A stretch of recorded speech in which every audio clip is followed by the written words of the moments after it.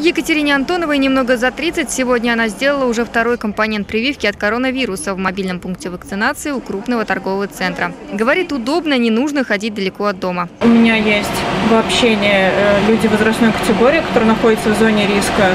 Родители, бабушки, дедушки, ну и дети, поэтому решила. Считаю, что важно, потому что статистика смертности растет, но не хотелось бы этого, и болеть не хочется.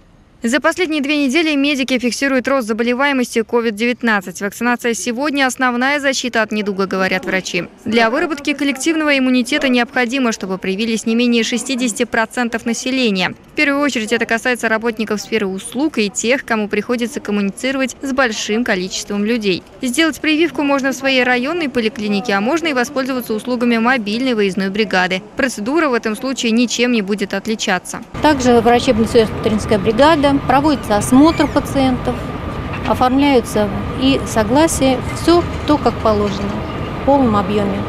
И проводится вакцинация. И первый этап, и второй. Востребованность вакцинации у самарцев растет с каждым днем. Сейчас ежедневно только в одном мобильном пункте прививаются 80 человек. Чаще всего пациенты выбирают спутник ВИ. Мобильные пункты вакцинации работают у крупных торговых центров – Космопорта, Амбара, Меги и Авроры. Прививочные кабинеты доступны во всех больницах, среди них есть и круглосуточные. Мария Левина, События.